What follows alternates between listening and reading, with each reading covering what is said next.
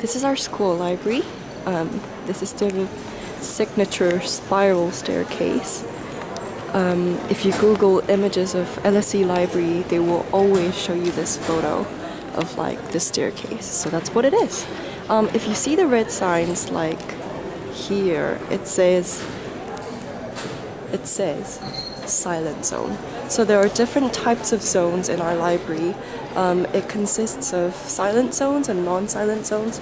So silent zones are places meant for you to study quietly. So let's explore what it entails.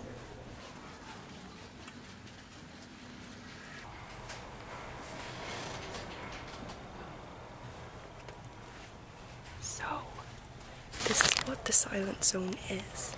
Um, it's where you study very quietly. You're not permitted to talk with people, um, but there are obviously places where you can talk with your friends, do your group work, projects, whatever. This is the undergraduate fourth floor silent zone study area where only the undergraduate students are permitted into the room. Yeah, so you basically tap your card here, you enter, and you study silently. And this is the women's library reading room. It's got um, books on women and their fight for greater equality and liberty.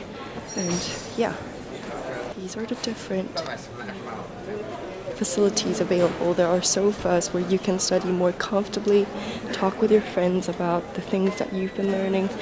This is the group study zone. This is not a silent zone because obviously you do your group projects here.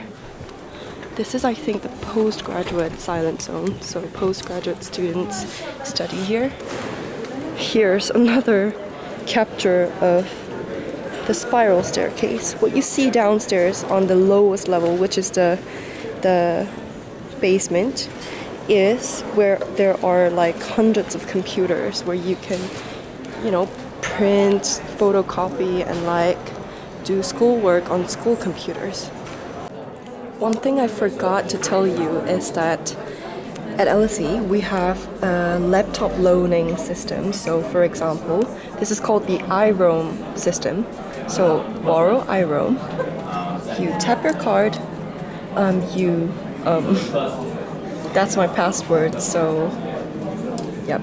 So you accept the terms and conditions, and then you get a laptop. That's pretty cool, isn't it? And it's a MacBook, like a MacBook Pro.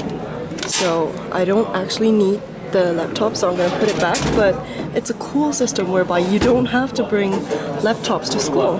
This is LSE LIFE, um, where there are help sessions for academic work. So if you have problems understanding certain modules, certain lectures, you come here.